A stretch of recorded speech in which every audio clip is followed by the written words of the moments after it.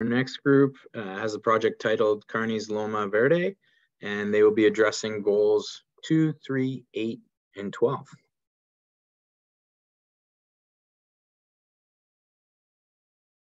We are representing the Schulich School of Business at York University, and we're working with Carnes Loma Verde, which uh, or CLV, which is a meat processing company located in Brunca, a region in Costa Rica that encompasses the southern part of the country, including the province of Puntarenas and part of San Jose. So CLV specializes in producing and distributing high quality meat products, which includes beef and pork.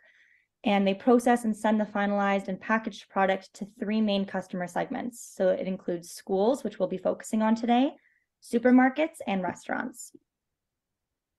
So the CLV mission is to deliver superior quality meats while promoting the welfare of the community and they compete through quality, so not through mass production achieved through economies of scale and factory farming.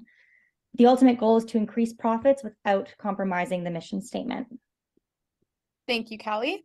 So one of CLV's three customer segments are, are, elementary schools. However, they only supply to 30 schools currently. Our project is aimed at ascertaining how CLV can serve a greater volume of schools and subsequently reduce food insecurity in the country, starting with elementary school children.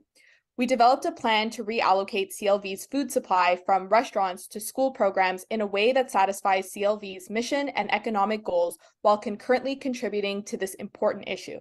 Our target is specifically to increase the number of schools that CLV provides to by three times in the next five years, thus enabling CLV to realize a profit and advance SDG number two by serving hungry school children through their programs. Supplying high quality meat to schools offers youth healthy meals to support their learning and development. Further, the supply of local meats to schools has the potential to further the economic development of Costa Rica. Increased demand for meat will encourage CLV to access new markets. The long term impact can stimulate eh, CLV's operations and create new jobs. Our proposal connection to the SDGs include goal number two, zero hunger, goal three, good health and well being, goal eight, economic growth, and goal, goal 12, responsible consumption. Thank you, Rita. So how do we do this? Well, first of all, our methodology. So first we looked at CLV's three market segments. So restaurants, supermarkets, and schools. To determine the most profitable segments, we conducted research. So we looked at secondary sources, financial statements, and we conducted primary research such as interviews. From there, we were able to divert excess supply to schools. So what did we find? Well, first, high-end restaurants represented the best balance of profitability and quality. We could divert 15% of low demand products to schools. Secondly, mid-market supermarkets represent the best balance of profitability and quality. We could divert 25% of excess products to schools. Now, schools, most interestingly, there's an agreement with the government and small producers that schools actually provide the highest amount of profitability for CLV. So we can increase the meat supply by 40% by diverting it from other sources and actually make our clients more profitable in doing so, helping to meet their target SDGs. So looking at the challenges, uh, considering CLV is a family-owned business, additional resources or additional capital may be required to meet the excess demand. This capital could be required for warehousing, uh, to provide supply chain management, or even to provide logistical support.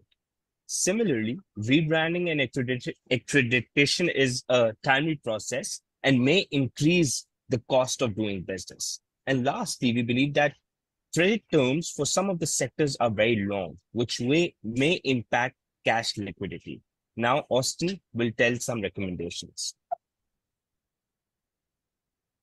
Thank you. So based on those challenges and the results that Denis went over there, we recognize that our recommendation for CLV is that we want them to shift their client base towards high-end restaurants and mid-sized supermarkets to benefit from that premium pricing and satisfy the goal of feeding school children with the aim of that 40% food diversion. And we have three key elements that we think believe are going to get us there.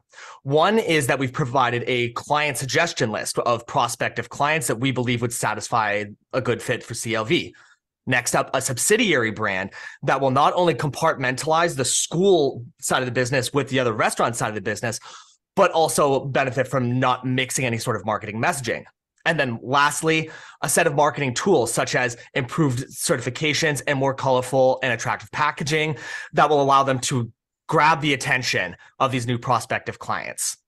Now, these are recommendations that we believe will satisfy these SDG goals. Thank you, and we're happy to take any questions.